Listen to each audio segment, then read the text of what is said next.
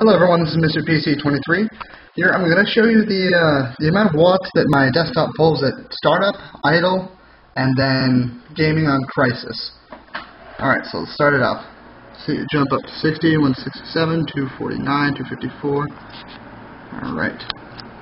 So right now it's staying in the 200 range. Oh, 307, 318. It's going through the BIOS right now.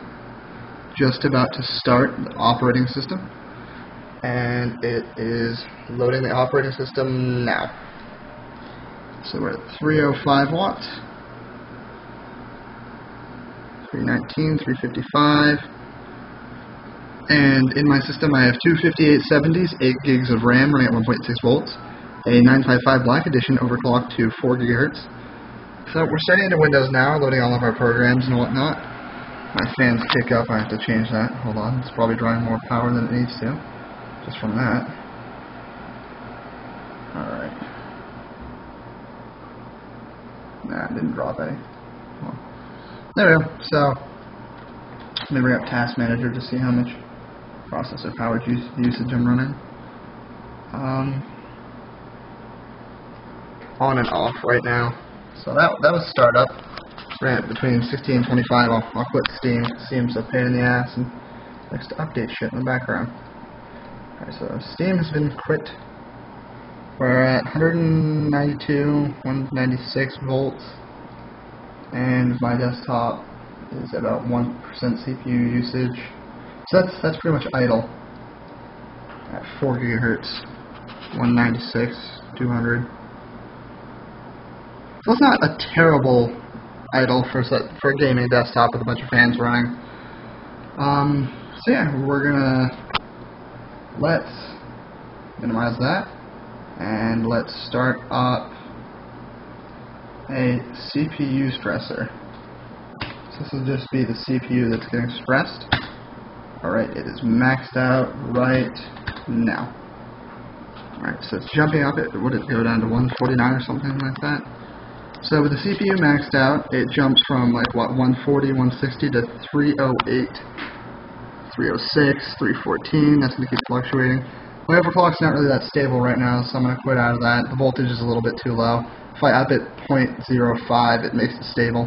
I was just going for lower voltages. So in like 150 and 154 and 160, if I'm if I don't touch the mouse, it's like 150.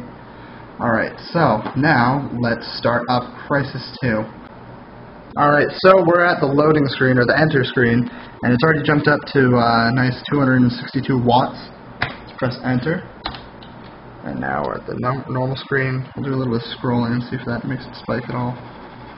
No, it's not really affecting it. So we'll resume my campaign. So it'll start loading now. It's loading off a hard drive. So that's taking some power. It's, it's definitely not using the full 1000 watts. Not even close to it, but it's still taking quite a bit of power.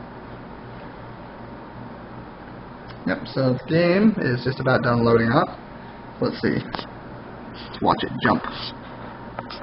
Alright, the game is up and running now. Oh, wow. So, we're at 429. Bring up that screen. That keeps it the same. Let me try to run through a bit.